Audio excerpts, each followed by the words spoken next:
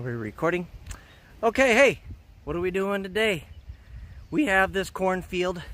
You can see over my shoulder. We got an acre on this side of this little trail. And we have about four acres on this side of the trail. It's not all corn. There is soybeans planted within them. Not inside where I planted the corn, not with it. But they're in rows. Um, you can see the tall cereal rye that was planted last fall. Um, today is June 25th, and I planted the soybeans within those rye patches, if you will. I did it for a couple reasons. Well, one main reason, I thought it would protect the soybeans from getting ate and maybe get up a little bit. And what I'm doing today is spraying the corn necessarily, specifically, with NutriGuard. It's a product by NutriPlot. And I have sprayed this stuff before in previous videos. This is a agriculture grade deer be gone, if you will.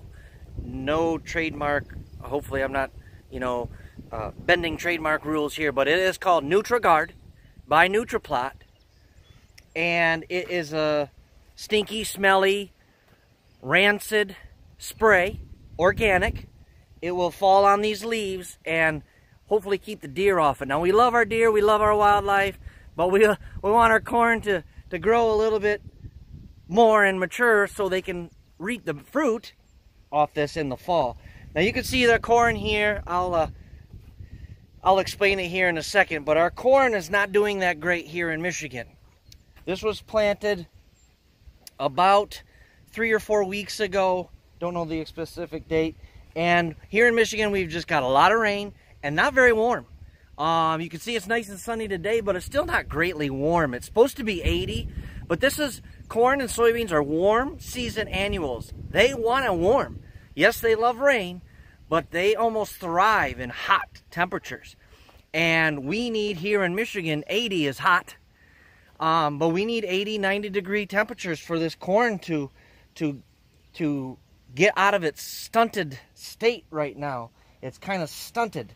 Uh, just kind of waiting for the weather to warm up. It's got a good color, but you can see a purple uh, base to them, some purple leaves on the bottom, and that is the culprit of cold temperatures, cold nights, and not very warm days.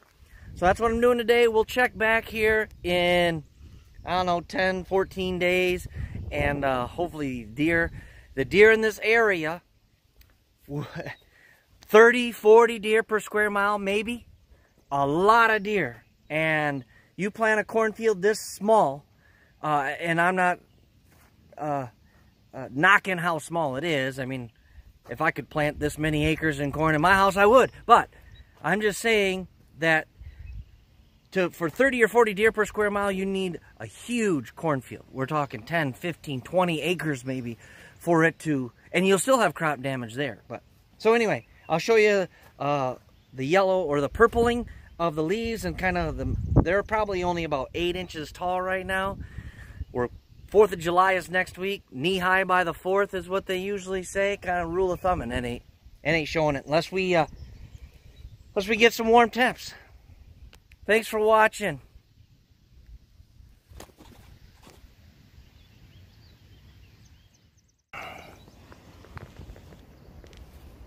That purpling. It's only, look at that purpling right there on the stalk. It's got a good color to it, purple edges. But, uh,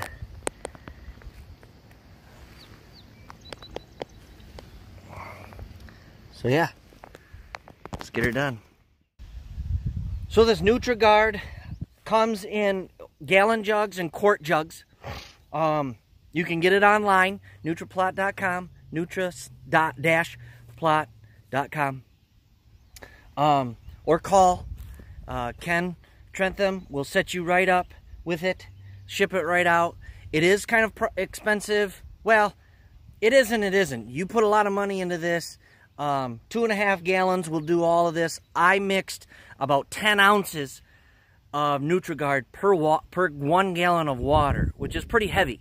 You don't normally mix any chemicals like that, but this is not a chemical. It's a little bit windy today, so I'm going to go about maybe four miles an hour. I'm going to adjust my seeds, make sure I get the perimeter done first, and then I'll do the interior spots if I have enough mix. And um, they really hit the edges uh, the uh, the hardest and the most.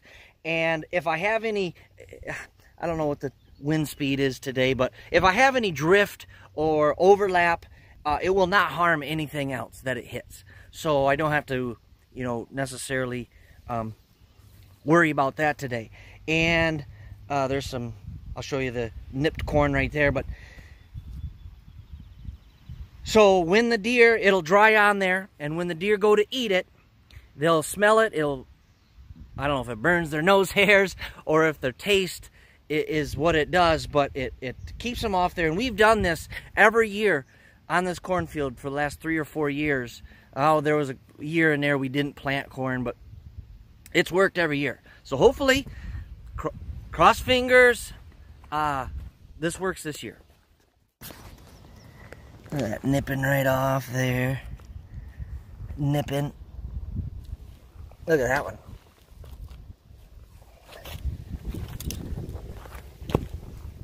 Crop damage, crop damage. There's some purpling again. Let's walk over here. Look at all the tips are nipped off. Boom, boom, boom.